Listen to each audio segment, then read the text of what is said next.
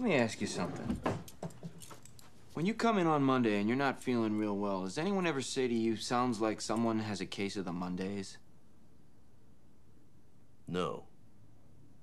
No, man. Shit, no, man. I believe you get your ass kicked saying something like that, man.